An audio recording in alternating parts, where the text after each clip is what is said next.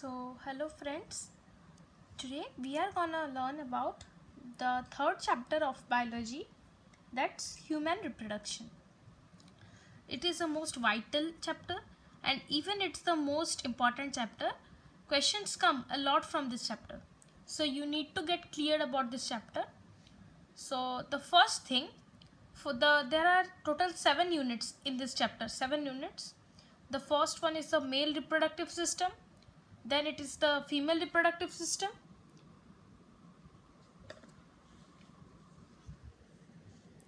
Then it has gametogenesis menstrual cycle fertilization and implantation pregnancy and embryonic development parturition and lactation.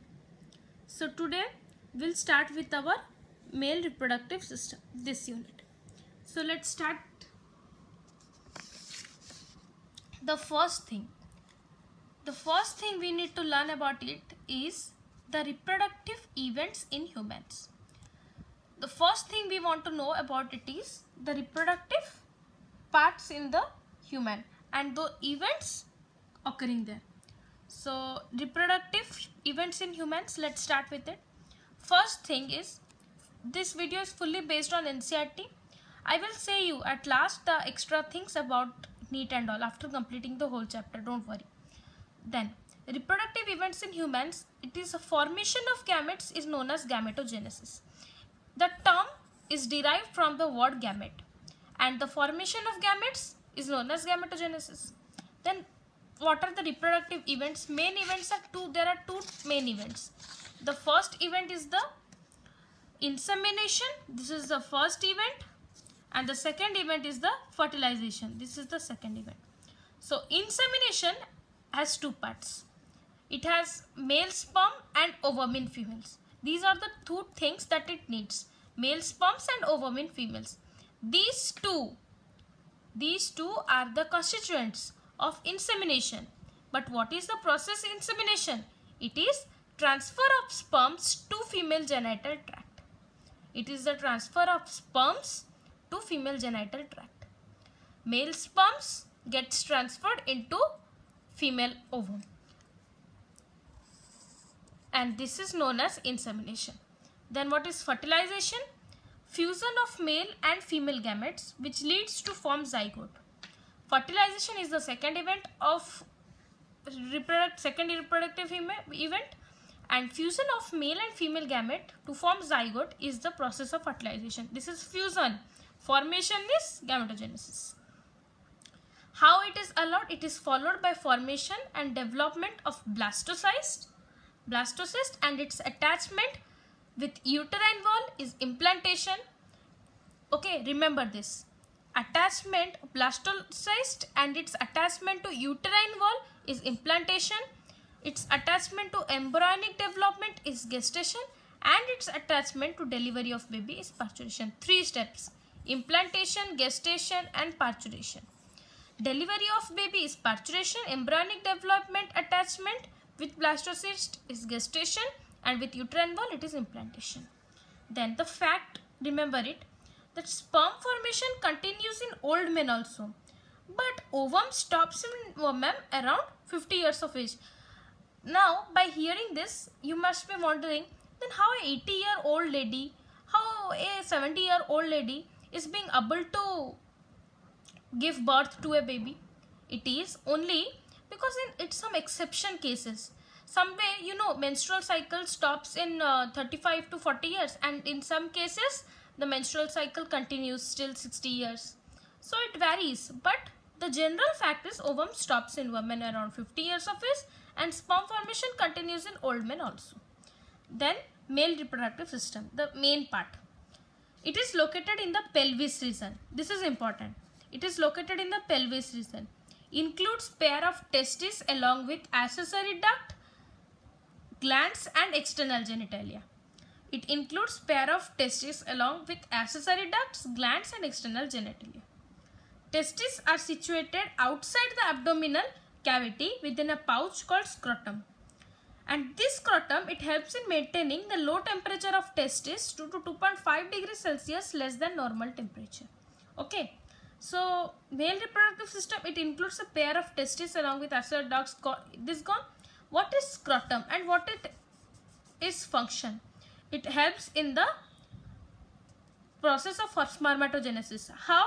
Spermatogenesis occurs only when uh, in the testes 2 to 2.5 degree less than the normal temperature is the condition necessary for spermatogenesis and this is done only by scrotum. Testes are situated outside the abdominal cavity within a pouch called scrotum. Means scrotum covers the testes like a sac. Low temperature of testes 2 to 2.5 degrees Celsius less than normal temperature. It is necessary for spermatogenesis. It is a condition that spermatogenesis occurs. Then in adults testes are oval in shape. Okay. In adults testes are oval in shape and its length is 4 to 5 centimeter, width is 2 to 3 centimeter and covered by a dense covering. Length is 4 to 5, width is 2 to 3 centimeter, remember it. And it has 250 compartments called testicular lobules. It has 2 to 250 compartments. It has 250 compartments called testicular lobules. Like it, many compartments and uh, like this 250 are there. And these all single compartment is known as a testicular lobule. So now let's see the next part these are my notes and by this only i hope you will be getting understand. Because it's i have written in more simpler language than even ncert same words same terms but a bit simplified. Then each lobule of those one 250 lobule each lobule contains 1 to 3 highly coiled seminiferous tubule. Those highly coiled are known as seminiferous tubule and this tubules helps in the production of sperms. Then each seminiferous tubule is lined on its inside by two types of cells. One is male germ cells and the other one is Sertoli cells. Male germ uh, cells, spermatogonia and Sertoli cells. So remember, from out of 250 compartments, each lobule contains 1 to 3 highly coiled tubules and those tubules are seminiferous tubule. Production of sperms occurs there. And each seminiferous tubule is lined on its inside inside internally by male germ cells and Sertoli cells then. Male germ cells undergoes meiotic division leading to sperm formation. It undergoes meiotic division remember this meiotic division. And Sertoli cells provides nutrition to germ cells. This is interlinked with this. How? It provides nutrition to this. And this undergoes meiotic division to form leading to sperm formation then region outside the seminiferous tubule called interstitial or Leydig cells. Region inside the seminiferous tubule, male germ cells and Sertoli cells. And the region outside the seminiferous tubule is interstitial or Leydig cells. Synthesis and secretes testicular hormones called androgens. Another immunologically competent cells are also present. Then male accessory sex accessory duct includes four organs. Rete testis vas afferentia epididymis vas deferens. Then seminiferous tubule of testis opens into vas afferentia through rete testis this is a paragraph in ncert seminiferous tubule of testis open into vas afferentia through rete testis then the next statement is Vasa afferentia leaves the testis and opens into epididymis located along posterior surface of each testis. Then epididymis, so this is a whole paragraph but how can you remember it in a well way? So i have done a normal specific it's not the real diagrams. These are not the real diagrams but i have done so that it will be printed in your mind and you can write it in your own language. See. See like just to understand seminif let this be the seminiferous tubule. If this is our seminiferous tubule this is its opening. Here suppose the seminiferous tubule and here it is uh, the opening of seminiferous tubule is here. Like the bottle cap the bottle is like this. And the bottle's opening is the cap. Here you drink the water.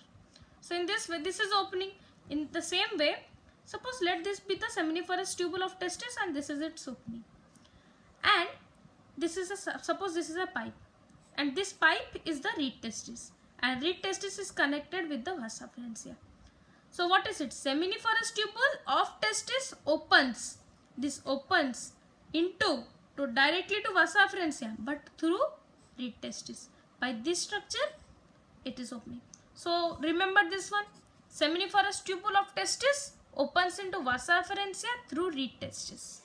Then the next step. Here see the statement explains that the vas afferentia leaves the testis. vasa efferentia leaves the testis so see here this is the vasa efferentia okay. This is the vasa efferentia it leaves the testis. This is the testis. Suppose this is the testis. And vasa efferentia is this one. This is the testis. This is the vasa efferentia this is the leaving point of testis. Suppose this is the end point of the testis. And by this end point this is the leaving point. And testis is left here vasa efferentia left testis in this point and this opens into epididymis located along posterior surface of each testis and this vasa efferentia opens into epididymis so remember vasa efferentia left testis and opens into epididymis then epididymis leads to vas deferens that ascends to abdomen and loops over urinary bladder. See, epididymis leads to vas deferens. Suppose this is epididymis, this structure. And this structure leads to this structure. This is suppose this is vas deferens. And this vas deferens loops over the urinary. Suppose this is urinary bladder and this is the loop. This is the loop. It is surrounded by the loop of urinary bladder. Epididymis leads to vas deferens and this loops over the urinary bladder. Epididymis receives a duct from seminal vesicles and opens into urethra as ejaculatory duct. And this ejaculatory duct stores and transports the sperms from testis to outside the urethra, to outside through urethra.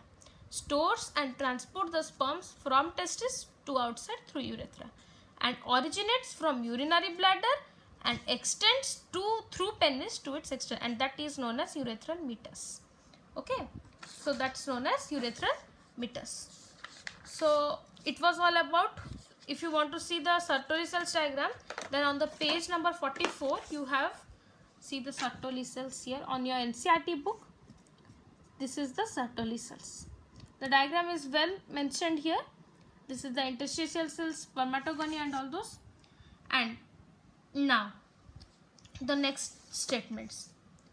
The penis is the male external genitalia. It is made up of special tissue which helps in erection of penis to facilitate insemination.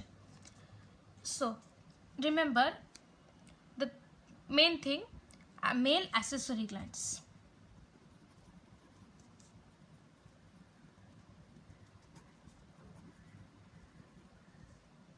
These are seminal vesicle, prostrate gland and bulbourethral.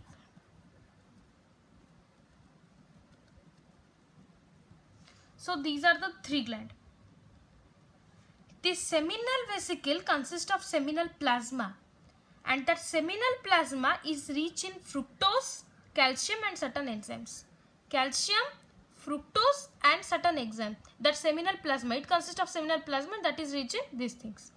Bulbourethral gland helps in lubrication of penis. It is also known as Cowper's gland sometimes. Okay. So these were the things of male reproductive system. Thank you everyone. In the next video, we will study about female reproductive system. In the next video, we will read about that. Till then, I these are my notes, personal notes I shared with you so that it may help you. And if you get any doubt out of these words or sentences, then please do write in the comment